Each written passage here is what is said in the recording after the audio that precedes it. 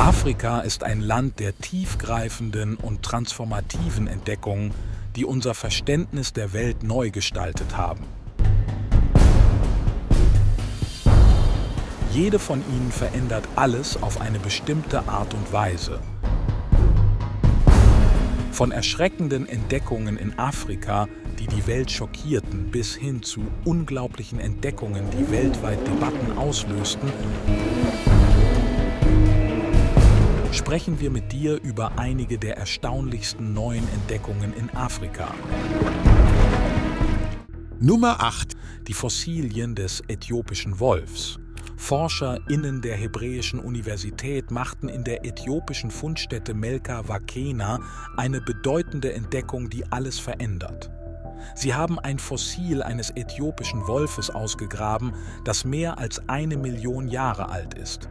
Dieser neue Fund in Afrika stellt die bisherige Annahme in Frage, dass die Art erst vor 20.000 Jahren aus Eurasien kam. Die Entdeckung, die in der Zeitschrift Communications Biology veröffentlicht wurde, unterstreicht die frühe Präsenz der Art in Afrika.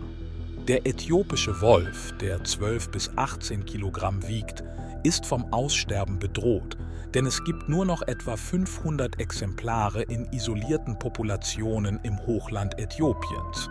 Professor Irella Hovers erklärt, dass die Art in warmen Klimazonen mehrfach vom Aussterben bedroht war, was zu einer Fragmentierung der Population führte. In kälteren Perioden erholten sich die Populationen wieder, sodass sie sich in tiefer gelegene Gebiete ausbreiten und sich besser vernetzen konnten. Die Forscher nutzten Standardmessungen und statistische Methoden, um das Fossil zu identifizieren und erstellten Modelle, die die Umweltveränderungen und Lebensraumeinflüsse der Art darstellen. Prognosen zeigen, dass es bis 2080 in zwei Dritteln der Lebensräume des äthiopischen Wolfs aufgrund der globalen Erwärmung und der Ausdehnung der Landwirtschaft keine geeigneten Bedingungen mehr geben wird.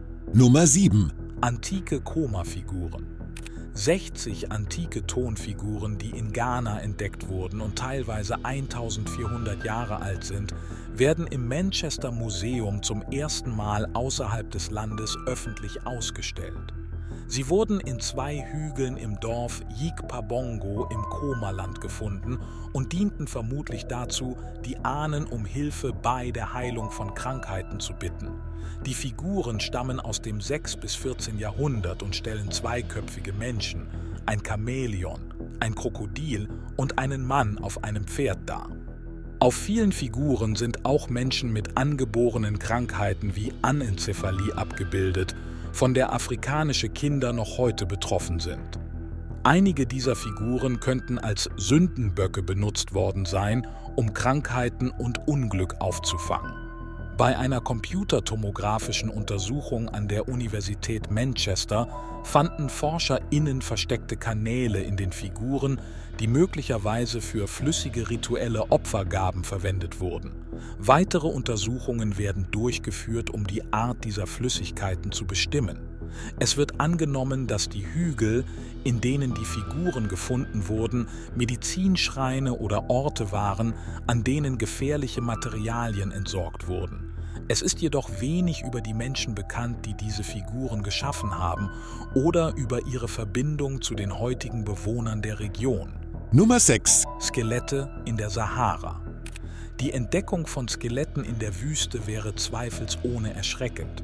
Zunächst würden die Menschen vielleicht ein falsches Spiel oder einen tragischen Unfall vermuten.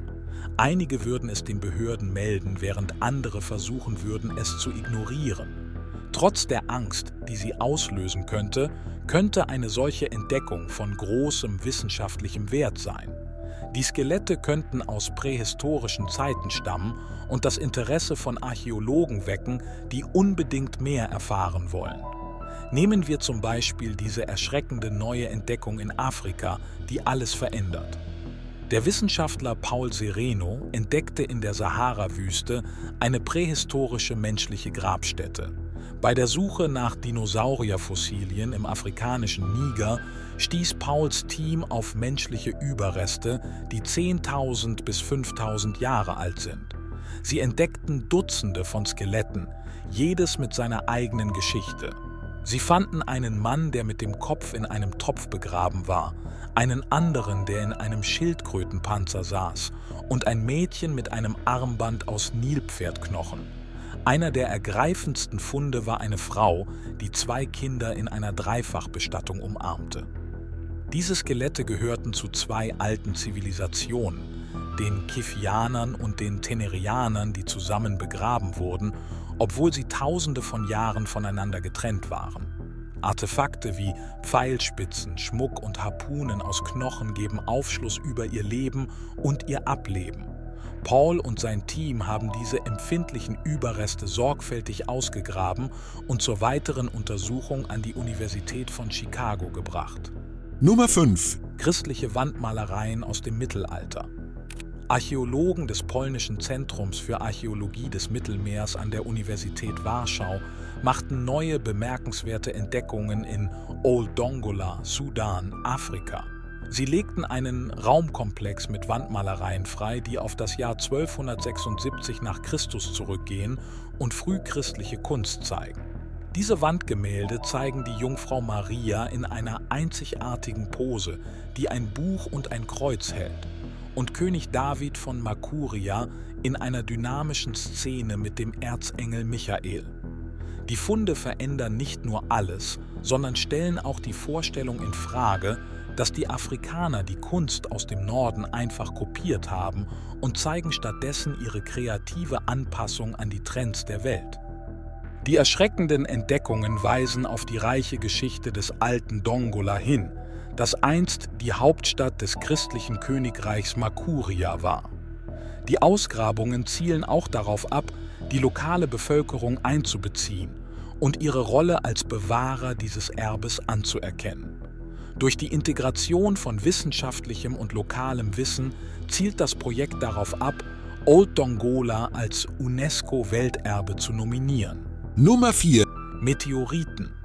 Mit der Entdeckung von zwei Meteoriten hat sich die Zahl der Meteoriten in Südafrika auf über 50 erhöht, was einen wichtigen Meilenstein darstellt.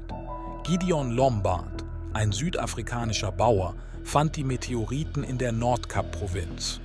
Die Steine, die er am 18. September 2018 und am 27. August 2021 auf seiner Farm südlich von Pofadder fand, wurden von den Geologen der Wits University, Professor Roger Gibson und Lou Ashwell, als Meteoriten bestätigt. Der erste Meteorit mit dem Namen Briaskop wiegt 21 Gramm und ist ein gewöhnlicher Chondrit.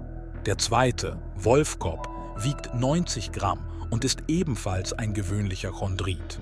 Obwohl die beiden Meteoriten nur weniger als einen Kilometer voneinander entfernt gefunden wurden, unterscheiden sie sich deutlich. Wolfkop weist eine fortgeschrittenere Oxidation auf, was darauf hindeutet, dass er zu einem älteren Fall gehört als Brierskop. Nummer 3. Antike nubische Steintafeln. Archäologen haben an der Fundstätte Sedenga im Sudan, einer bedeutenden Nekropole aus der Zeit vor 2700 Jahren, einen Schatz an antiken Texten in der rätselhaften Sprache der Kuschiten ausgegraben. Diese Stätte war einst eine belebte Totenstadt für die napatanischen und meroitischen Königreiche, die zusammen als das Königreich Kusch bekannt sind. Unter den Ruinen von mindestens 80 Ziegelpyramiden und 100 Gräbern entdeckten die Forscher Tafeln, Türstürze und Stelen, Steintafeln, die als Gedenkmonumente verwendet wurden. Diese Artefakte stellen die größte Sammlung von Texten in meroitischer Sprache dar, der frühesten bekannten Schriftsprache Afrikas südlich der Sahara, die Zeichen aus der altägyptischen Schrift übernommen hat.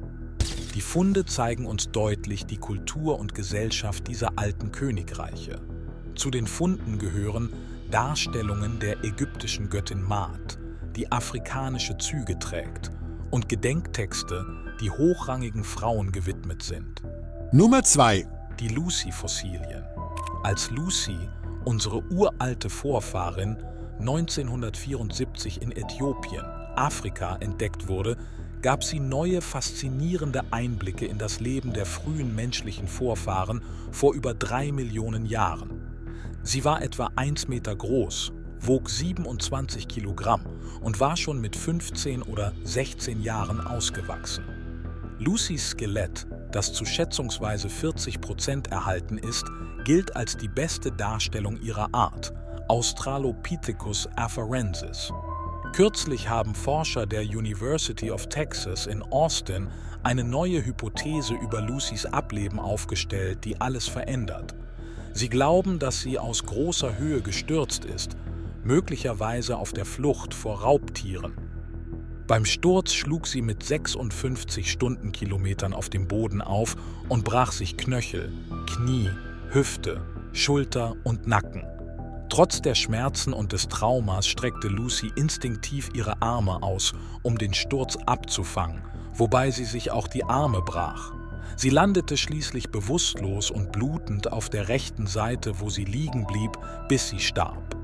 Nummer 1. Antiker Fischsalzhafen von Lexus. Ein Team aus marokkanischen und spanischen Forschern hat vor kurzem neue Entdeckungen im antiken römischen Fischsalzhafen von Lexus in der Nähe der Stadt Larache in Marokko gemacht. Die Ausgrabungen, die Teil eines vierjährigen Forschungsprogramms waren, legten zwei neue Becken frei und bestätigten, dass es sich bei der Stätte um die größte Fischsalzfabrik des Römischen Reiches in Marokko und Afrika aus dem ersten Jahrhundert vor Christus handelt. Unter der Leitung des National Institute of Archaeology and Heritage will Days Team das Ausmaß der Fischproduktion in dieser antiken römischen Fabrik verstehen, die zwischen dem 5. und 1. Jahrhundert vor Christus betrieben wurde. Das Gelände ist 63 Hektar groß und umfasst 10 Fabriken und 150 Teiche. Durch die Analyse der Rückstände aus den Teichen hoffen die Forscher, die Fischarten zu identifizieren, die dort verarbeitet wurden. Die Entdeckung der neuen Becken ändert alles und liefert weitere Beweise für die Existenz des Hafens von Lexus, über den der in der Fabrik produzierte gesalzene Fisch weltweit exportiert wurde. Welche Entdeckung in Afrika fandest du am interessantesten? Lass es uns in den Kommentaren wissen. Wenn dir das Video gefällt, gib ihm einen Daumen hoch.